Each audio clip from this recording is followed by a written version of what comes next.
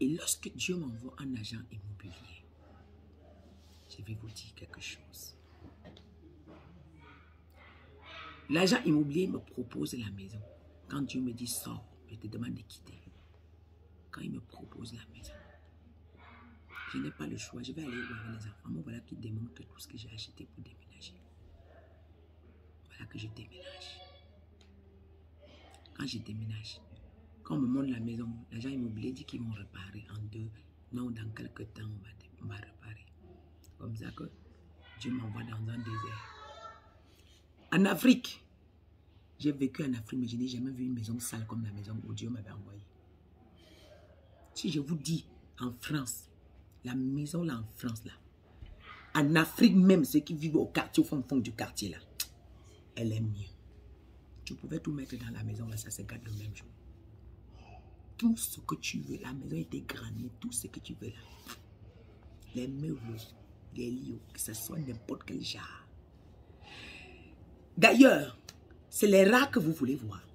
Et moi, j'avais la phobie des rats. J'avais la phobie des rats. C'est comme ça que je ne peux plus amener les gens chez moi. Dieu me coupe d'abord les pommes là-bas. Les rats que vous voulez voir. Hey! Je priais comme ça, tu vois, c'est comme si ça sortait de l'enfer. Lui, s'il fait une ligne de rats qu'on a mis pour amener chez moi. Il y a un trou là-bas qui passe là-bas, vous passez. Même si vous bouchez les trous là, il trouve un moyen qu'il passe. J'ai crié à Dieu. Je n'ai jamais prié comme j'ai prié dans cette maison-là. Je n'ai jamais prié comme j'ai prié dans cette maison. Je vous assure. Jamais j'ai prié comme ça. Yeah! Le seul endroit où les rats là ne pouvaient pas partir, mon hôtel de prière. Mais ils entraient partout. Vous achetez la nourriture, une manche. Yeah! J'ai tout vu.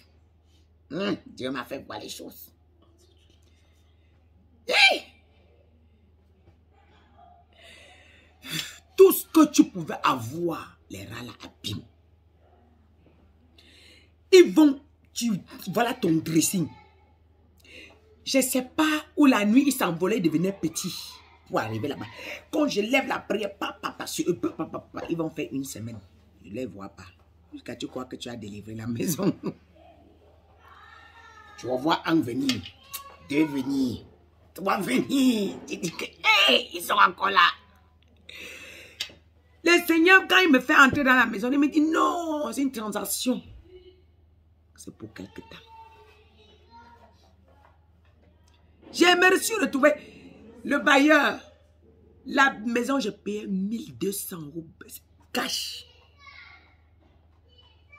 Ouais, la maison pourrie là, j'ai payé 1200 euros. À un moment, j'ai dit, ouais, je ne paye plus. Tu m'avais dit que tu vas arranger la maison. Mais comment est-ce que c'est possible que je vis dans la maison depuis deux ans? Tu, On paye, mais tu ne fais rien. On la paye, il ne vient pas. Ce que j'ai dit, mais c'est pas parce que je suis chrétien que tu vas abuser de moi comme ça. Il n'est pas possible. On se retrouve au tribunal. Le juge a vu la maison, les photos, il a dit quoi? Vous êtes des vendeurs de sommeil. il a appelé. Vous payez ça? 1200 On n'a arrêté droit. On a dit qu'elle ne paye plus. Vous payez ça? 1200 Eh, Dieu m'a montré quand, quand j'ai tout vu avec Dieu. Peut-être je n'ai pas encore tout vu, mais j'ai vu quand même. J'ai vu quand même. Les rats dans, dans une maison en France. On dit, quand, tu vois un truc comme ça, c'est pas les souris, c'est les rats. Bon, il y avait les souris, il y avait les petits, il y avait les gros comme ça. On dirait que ou c'est moi qui les nourrissais, ou c'est ce qui était dans, dans ma maison qui les nourrissait, ou c'est la nourriture, l'abondance qui était là qui... Tu veux...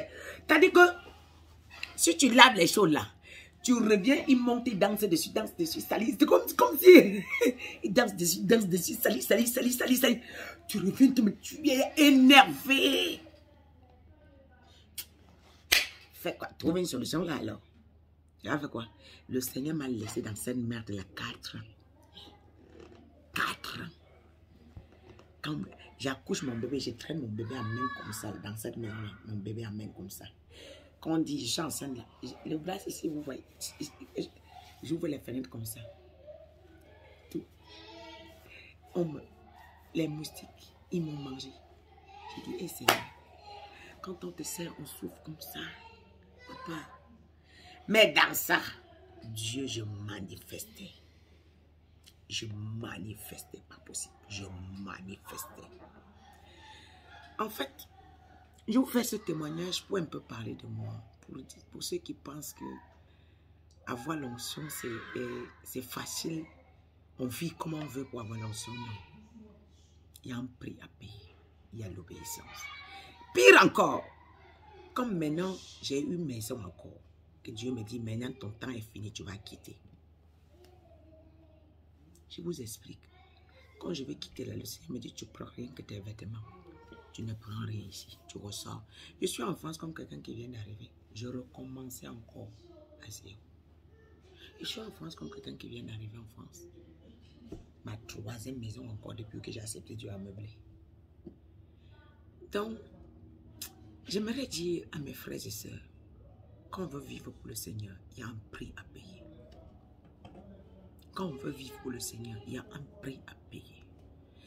Et je vous dis, c'est quand je suis sur le point de quitter la maison, après avoir fait trois ans de galère, que Dieu me dit, pourquoi je t'ai ramené dans cette maison? Je dis, pourquoi Seigneur, tu m'as amené là? Il dit que parce que tu n'étais pas, pas encore affermi en moi, je dois t'utiliser. Mais et comme tu aimes donner, faire entrer tout le monde dans ta maison et préparer, donner à manger aux gens.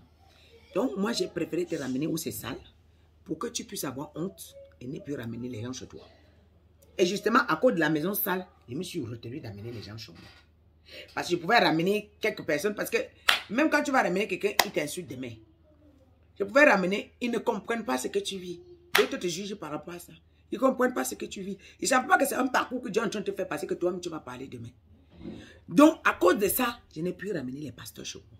À cause de cette maison, le Seigneur m'a dit, tu sais, toi et ton mari là, vous êtes pareils.